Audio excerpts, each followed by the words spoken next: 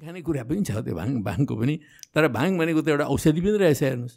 अहिले त हामीले जस्तो गाँजाको बारेमा तपाईँ तपाईँ म्यारोवानाको केसमा चाहिँ कहाँ स्ट्यान्ड गर्नुहुन्छ? लिगलाइज हुनुपर्छ कि हुनु हुँदैन त्यो लिगलाइज गरे हुन्छ। किनभने त्यसबाट जुन प्रकारको जुन एउटा औषधि र मान्छेलाई चाहिँ फाइदा चिजहरू रहेछन् त्यसको पहिला एजुकेसन दिनु पऱ्यो मान्छेलाई अनि एजुकेटेड ढङ्गले प्रयोग गर्नु पऱ्यो रिक्रिएसनली चाहिँ युज हुनुहुन्छ कि हुँदैन?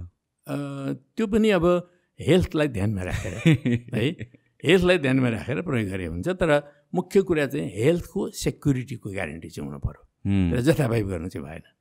त्यो अब यो हामी चाहिँ जो खान्छौँ नि रक्सी खान्छौँ अथवा चाहिँ हामी जो यहाँको चाहिँ लोकल भनेर जो खान्छौँ हामी त त्यो चिजमा पनि त आखिर त्यो हामीले हेल्थको ग्यारेन्टी गरेनौँ भने त हामी समाप्त हुन्छौँ नि। रिसर्च अनुसार त त्योभन्दा त कम नै रिस्की छ भनेर भन्छ म्यारोवाना चाहिँ।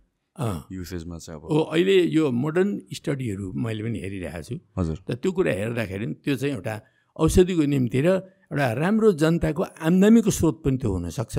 त्यस कारण यसको फार्मिङ गर्ने कुरालाई एलाउ गर्नुपर्छ।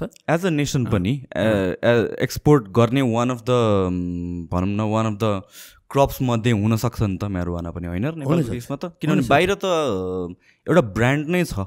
नेपालको म्यारोवाना भनेर के? यस यस नेपालमा के रहेछ भने यो मरिवाना भनेको चाहिँ अब हामी तर तराईमा उत्पादन गऱ्यौँ त्यहाँ पनि हुन्छ। है? पाहाडमा उत्पादन गऱ्यौँ त्यहाँ पनि हुन्छ। अलि माथि हिमाली रिजनमा गऱ्यौँ त्यहाँ पनि हुन्छ। त्यसो हुनाले त्यो एउटा त सबै ठाउँहरूमा उत्पादन गर्न सकिने कमोडिटी हुँदो रहेछ उपज हुँदो रहेछ त्यो। र त्यसलाई त्यही ढङ्गले हामीले प्रशोधन गर्ने अब कारखानाहरू बनाएर किसानहरूलाई पनि त्यही ढङ्गले प्रशिक्षित गरेर यसको सदुपयोग गरौँ। होइन? भनेर जाने हो भने नेपालको अर्थतन्त्रलाई त्यसले पनि टेवा दिन्छ लिगलाइज विन